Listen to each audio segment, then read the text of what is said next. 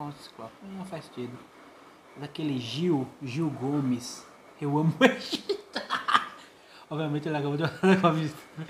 Eu amo o Egito, mano. Negócio esquisito na porra. O Gil Gomes. Numa noite. Não, não, ele não começava assim, ele. Nesta casa havia uma família. Havia o pai que era um trabalhador honesto.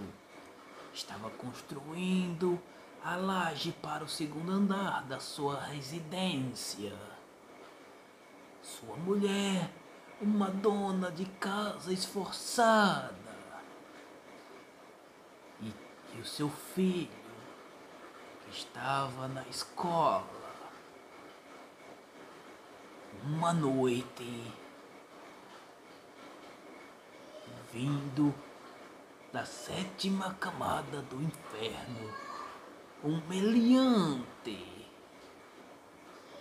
Ele entrou na casa e assaltou to, e assaltou. Agora algumas coisas, alguma coisa assim.